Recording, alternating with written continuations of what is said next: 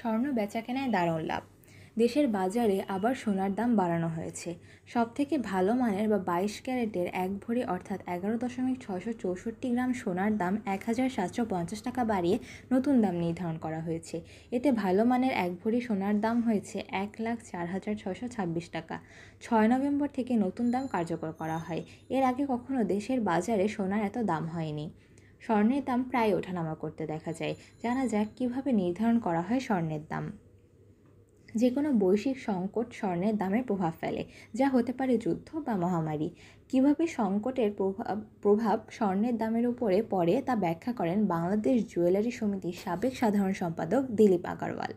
বলেন, যখনই মানুষ ডলারের ওপরে আস্থা হারায়, তখন স্বর্ণের দিকে ঝুঁকে পড়ে। কাছাকাছি সময়ে যতগুলো যুদ্ধ হয়েছে, ইরান, ইরাক, লিবিয়া, এমনকি চীন আমেরিকা, যে অর্থনৈতিক যুদ্ধ তখনও আন্তর্জাতিক বাজারে স্বর্ণের রেট বেড়েছে। এখন পুরো ইউরোপ স্বর্ণের দিকে ঝুঁকছে। এই কারণে সংকট এলে স্বর্ণের দাম বাড়ে। কথা হলো, আন্তর্জাতিক বাজারে ডলারের দাম কমে যাওয়ার প্রভাব পড়ে স্বর্ণের বাজারে। বিভিন্ন কেন্দ্রীয় ব্যাংক যখন সংকটের সময় স্বর্ণ বেশি কেনে, তখন এর দাম বেড়ে যায়। অপরিশোধিত তেল এবং স্বর্ণ একে অপরের সাথে অঙ্গাঙ্গিভাবে জড়িত। নানা দেশের কেন্দ্রীয় ব্যাংকে ডলার যেমন থাকে তেমনই স্বর্ণ গচ্ছিত থাকে। স্বর্ণ একটি পণ্য কিন্তু মূল্য পরিশোধেও এটি ব্যাপকভাবে ব্যবহৃত হয়। তেলের দাম বাড়লেও স্বর্ণের দাম বাড়ে, আবার উল্টোটাও হয়। মুদ্রায় অস্থিরতা থাকলে প্রায় অপরিশোধিত তেলের মূল্য স্বর্ণে পরিশোধ করা হয়। বাংলাদেশের অনেক পরিবার, এমনকি কেন্দ্রীয় ব্যাংকের স্বর্ণ জমিয়ে রাখার প্রবণতা রয়েছে বিভিন্ন পর্যায়ে। ঢাকা বিশ্ববিদ্যালয়ের অর্থনীতির অধ্যাপক সায়মা হক জানান, এটি এমন এক বিনিয়োগ বা যা কিনলে ও জমিয়ে রাখলে বড় ধরনের ক্ষতির শঙ্কা থাকে না। করোনা ভাইরাস মহামারীর সময় যখন অনেক ব্যবসায় ধস নামছিল, তখন বিনিয়োগে এক ধরনের অনিশ্চয়তা ছিল।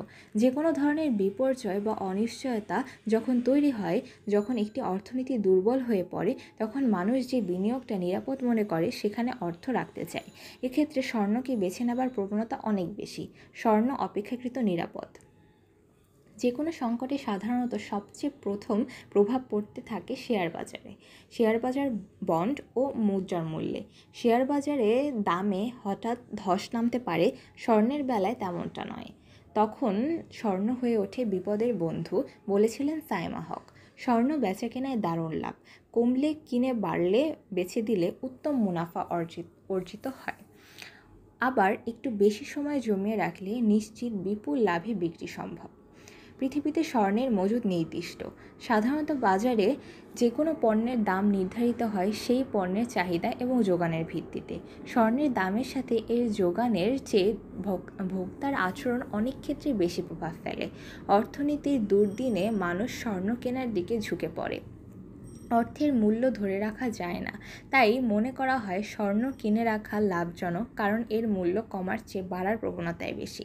যখন এই সংকট ডলারের মূল্য, তেলের দাম, মুদ্রাস্ফীতি, মূল্যস্ফীতি, আন্তর্জাতিক বাজারে স্বর্ণের মূল্য বাড়িয়ে দেয়, তখন বাংলাদেশেও দাম বাড়ে।